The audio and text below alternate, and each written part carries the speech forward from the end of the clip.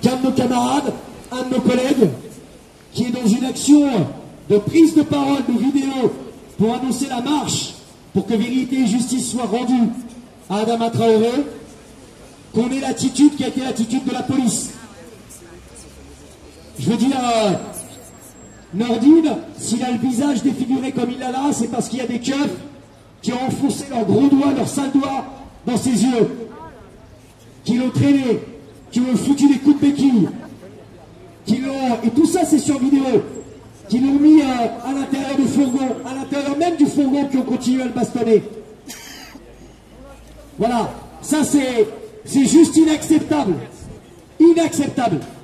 Et ça ne sera pas, je veux dire, tous les policiers là, qui sont rendus coupables de ces violences vis-à-vis de notre collègue, ils sont tous identifiables, tous. Il y en a même un qui était à l'intérieur hier, tous. Donc au bout d'un moment, dans le climat actuel, ça commence à trop se voir à quoi sert la police? Hein?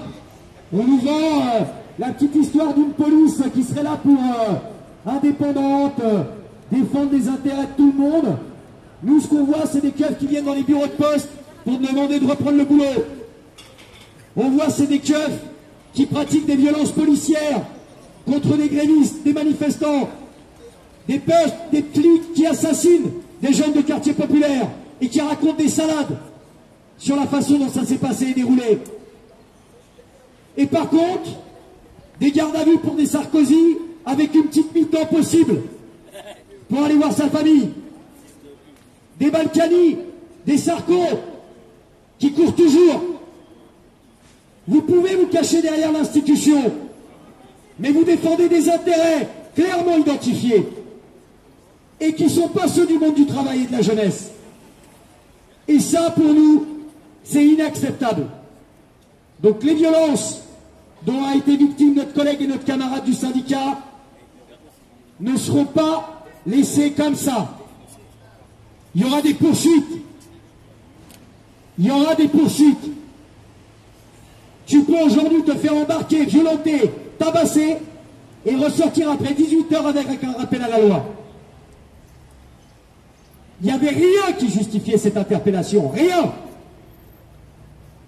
Donc merci à vous parce que on a bien compris aussi que pour la police, pour notre direction au niveau de la poste, l'objectif d'exercer ces pressions et ces violences policières, ces pressions quasi quotidiennes maintenant dans les bureaux de poste, ne vise qu'un objectif, c'est d'arrêter une grève qui est en grève reconductible depuis le 26 mars, avec 20% des effectifs sur le département de facteurs et factrices, 150 collègues qui sont en grève reconductible. C'est ça l'objectif. Avec, sur les deux derniers mois, des payes à 0 euros pour les 150. C'est 150 familles qui sont affamées. Et la Poste, en réalité, la seule chose qu'elle joue, qu'elle mise, c'est le pourrissement du conflit. Mais on est déterminé, on reste. Et c'est vrai que ça, ça fait chaud au cœur lorsqu'on voit d'autres collègues qui sont en bagarre, en grève, d'autres fronts de lutte qui viennent nous soutenir, des élus qui expriment également leur solidarité. Toutes ces choses-là sont essentielles pour pouvoir tenir, essentielles pour pouvoir gagner. On sait en ce qui nous concerne au niveau des postiers de Haute-Seine qu'on n'a pas d'autre choix que de maintenir notre grève. On ne reprendra pas le boulot sans un protocole de fin de conflit qui permette d'acter une victoire pour les postiers du 92. S'il faut qu'on tienne juillet, on tiendra juillet.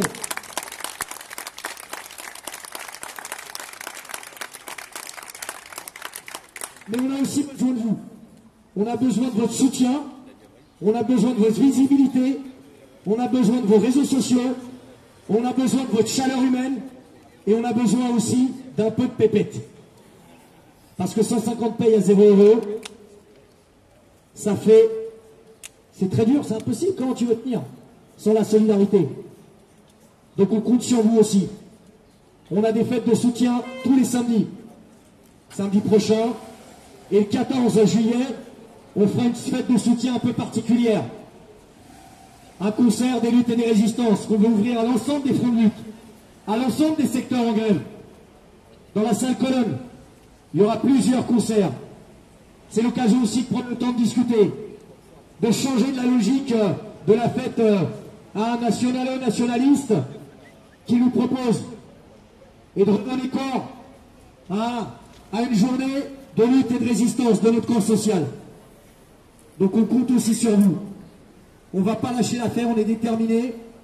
Mais tout le monde le sait, lorsque tu mènes une bagarre aussi longue, eh bien c'est jamais évident.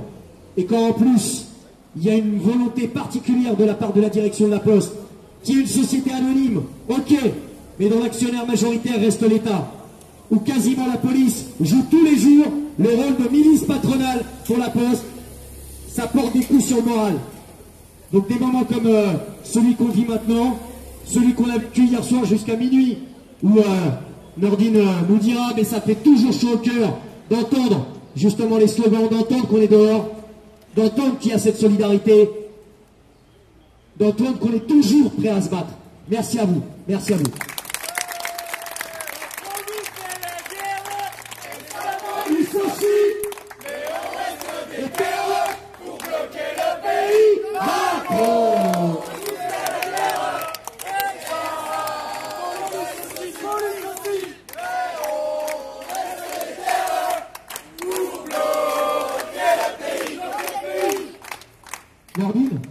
même s'il est claqué, il va falloir qu'on y aille après quand même. Moi, je veux juste un mot pour ceux qui regardent là-haut, là-bas, parce que j'étais là-bas hier, euh, à la SCH. Euh, hier, on vous entendait, euh, on vous entendait chanter mon prénom, et d'un coup, il y a l'OPJ qui me dit C'est toi Nordine Après, je lui dis Ouais.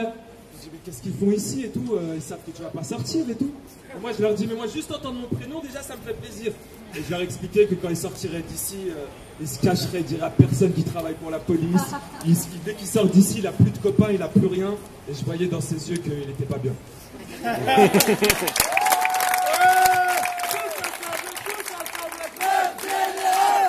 tous ensemble, tous ensemble Et tous ensemble, tous ensemble Je sais pas si euh, Eric, Canas, euh, d'autres personnes veulent prendre la parole. si je prends la parole, je, dois dire qu'hier, quand j'ai appris ça, je ne pouvais pas être là, parce qu'il se trouve qu'on faisait une réunion euh, à Saint-Denis, dans un quartier populaire, de mobilisation justement pour euh, la manifestation du 21 juillet. Et on parlait aussi euh, de la question de discrimination et de la question aussi de violence de certains policiers. Moi, j'ai coutume de dire une chose, malheureusement, on, le sait les uns et les autres, il y a certains policiers qui j'allais dire, faut, euh, prennent à cœur euh, ce genre de répression qu'on leur demande d'exécuter, mais je voudrais quand même pas oublier que, en premier lieu, je ne dis pas que c'est ce qui est dit ici, hein, mais en premier lieu, les vrais responsables de toute cette affaire, c'est ceux qui prennent les décisions politiques d'utiliser la police comme ça.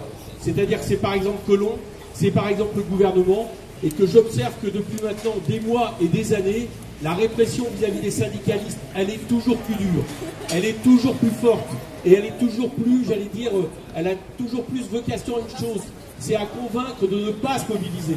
Je crois que ce que disait Nordine est vrai tout à l'heure. À chaque fois qu'on se retrouve dans ce genre de situation, quand on est euh, plusieurs dizaines, voire plusieurs centaines de personnes à demander la libération de quelqu'un, et eh ben déjà ça fait chaud au cœur pour la personne qui l'écoute, mais aussi on envoie un message à ceux qui euh, ont procédé au type d'arrestation. Moi je trouve absolument anormal et scandaleux, je le dis, de découvrir le visage de Nordine maintenant. C'est pas possible que quelqu'un qui manifeste de manière pacifique dans ce pays eh bien, se fasse tabasser de cette manière-là. C'est pas possible et je m'adresse également justement à la police là-dessus. Je ne pense pas que tous les policiers euh, apprécient ce genre de situation, mais ils n'ont pas à se taire quand des collègues font ça. Ça, c'est pas possible. Et de la même manière, je le dis, ça a été proposé par Gaël, je crois qu'il faut le faire jusqu'au bout. Il faut attaquer. Il faut attaquer devant la justice. Il ne faut pas considérer les uns et les autres que c'est une situation normale, qu'un des nôtres se fasse tabasser simplement parce qu'il a manifesté, voire pire, se fasse à un moment d'interpeller dans un quartier où ça tourne mal, comme Adama Traoré, avec les situations que nous connaissons. Voilà pourquoi, pour notre part, on va considérer que le 21 juillet doit être une grande journée de mobilisation. On est trop peu, en général, à aller dans les mobilisations dans les quartiers. On demande souvent aux quartiers de venir nous appuyer dans les mobilisations à Paris, syndicales et autres. C'est à nous aussi de faire en sorte que dans les quartiers et de dire que leur lutte, elle nous concerne. Voilà pourquoi on a communiqué beaucoup. Je crois que l'initiative hier était utile. Pour le reste, vis-à-vis -vis, euh, des, des camarades cheminots et syndicalistes euh, sur le PTT, j'ai eu de nombreuses fois l'occasion de dire que je soutiens leur lutte. Évidemment, on est à vos côtés jusqu'au bout. Et je vais vous dire un truc. Je continue à considérer que Macron, il n'est pas aussi fort qu'il paraît. Et qu'à un moment donné, on arrivera à mettre un coup de boutoir pour qu'il soit obligé de reculer. Je ne sais pas quand, mais on finira par y arriver. Voilà le message d'encouragement que je voulais qu'on donne, euh, porte les uns et les autres qui sont venus. Et ils sont là, et ils sont là, et ils sont là, tous nos impôts. Et ils sont là, et ils sont là, et ils sont là, tous nos impôts. Et ils sont là, et ils sont là, et ils sont là, tous nos impôts. Et ils sont là, et ils sont là, et ils sont là, tous nos impôts. D'ailleurs, au Japon, euh, on paye l'équipement de CRS aussi. Et ça coûte 10 000 euros. Chaque équipement. On de Ouais, bon- bon, bah, bonjour à, à- à toutes et à tous. Donc, euh, euh, nous, c'est tout naturellement en fait qu'on est euh, qu'on est venu euh, ici. euh, on a vu euh, on a vu les images sur les réseaux sociaux euh, hi- hier soir déjà. Euh, on a vu ce qui s'est passé. Nous, ce matin, on était en assemblée euh, interservice à Paris Nord et puis on a on a ce qu'on appelle chez nous les rencontres intergares euh, qui devaient se tenir à 13h, mais on n'a pas hésité une seule seconde à, à la décaler parce que pour nous, il est inconcevable de parler de grève, de réforme du ferroviaire et puis derrière euh, de laisser un collègue euh, être en garde à vue.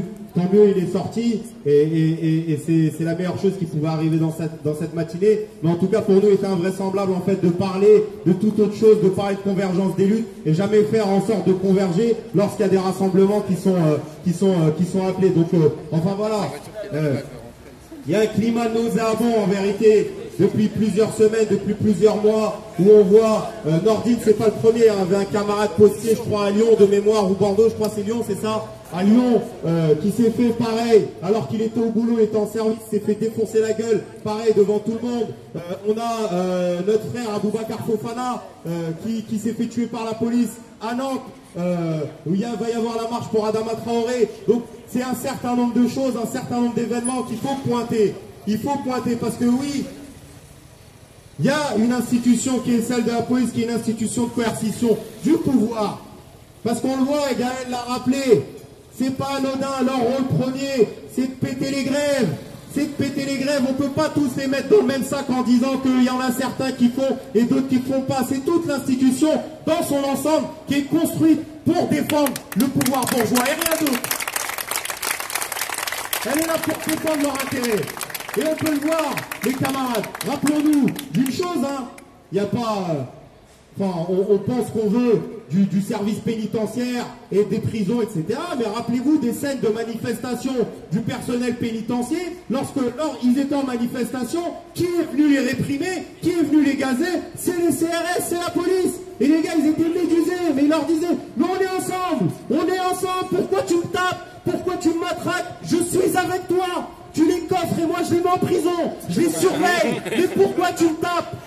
Et il les tape, et il les tape, et il les gaze. Parce que c'est comme ça. On leur a appris un geste mécanique. Défonce la gueule de tous ceux qui nous attaquent, de tous ceux qui remettent en cause le pouvoir bourgeois du gouvernement. Et si on décide une chose, eh ben vous êtes là pour l'appliquer. C'est ça, il y a une phrase qui disent les CRS. On est là pour servir. C'est ça notre rôle. On sert. On sert qui? Ils ne servent pas la base. Ils ne servent pas les grévistes. Il y a une image, moi, qui me revient en tête.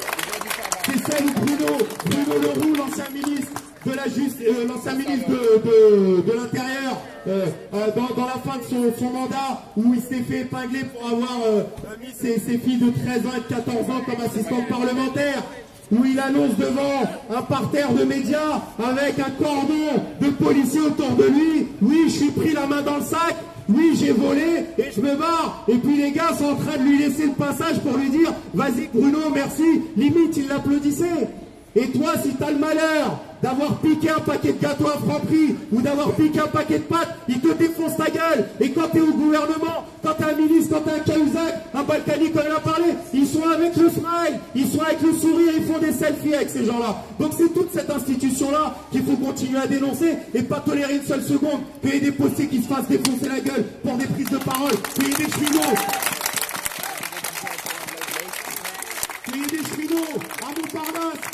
rentrer dans une, dans une gare, ils se font matraquer, ils se font à peine à rentrer dans une gare. Mais est-ce qu'il y a des keufs qui se font matraquer lorsqu'ils rentrent dans un commissariat pourquoi on vient chercher des fossés dans les tripostons Pourquoi on vient matraquer des cheminots dans des gares, les nacés C'est qu'il y a quelque chose qui se passe et qui est pas normal. Et ils sont en train de le voir et je peux vous le dire, Macron il a les chocottes. Macron il est en train de flipper parce qu'il est en train de voir que lui, Macron le surpuissant, le Jupiter est en train de voir que c'est en train de tourner euh, pas à son avantage. Et en un an de Macronie, dans un an de macronisme, ce monde parfait qu'il a voulu essayer de construire, il y a eu les ordonnances contre la loi travail, il y a eu les EHPAD, il y a eu la CSG, il y a eu les fossiers, il y a eu les étudiants, plus d'une trentaine de facs occupés avec des assemblées générales à plus de 3000 alors que même au début de 68, il n'y avait même pas autant d'engouement. Il y a eu trois mois de bataille du rail chez les cheminots qui est encore en train de continuer. Il y a une bataille chez les fossiers qui est en train de continuer. Il va y avoir les batailles contre la sécurité sociale, les régimes de retraite. Il va y avoir un certain nombre de batailles. Tout ce qu'on est en train de construire aujourd'hui, c'est pour demain. Et je vous assure les camarades, si c'est pas demain, ça sera après-demain. Mais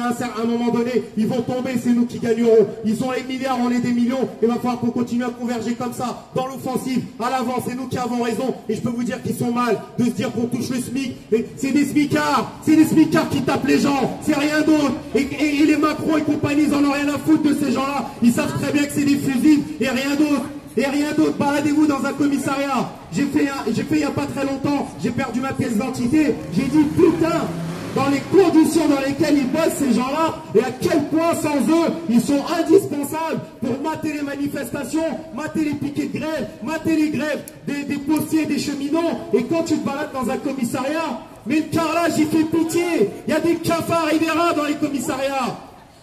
Ils, travaillent dans des conditions pour le SMIC et pourtant ils ferment les yeux sur tout ce qu'ils sont en train de faire. Ils tolèrent un certain nombre de choses. Donc voilà, continuons le combat, on lâche rien et puis voilà, le bataille à la marche pour et on reste avec les les Merci beaucoup.